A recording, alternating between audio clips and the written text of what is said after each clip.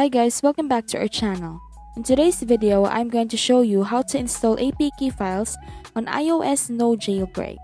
But before that, if you are new, please hit the like and subscribe button and hit the notification bell so you can be notified if we post another video.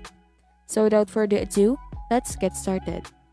First, open any browser on your device and search for the application you want to download. For example, try downloading the Twitter application.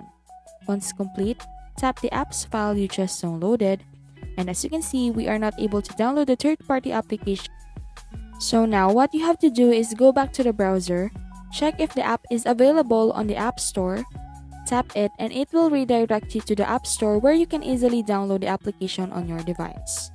Here, you will see that the application is also available. Download it or open it. And that's it. Thank you for watching. We hope you learned something from this video. Don't forget to like and subscribe and hit the notification bell if you want to see more of this.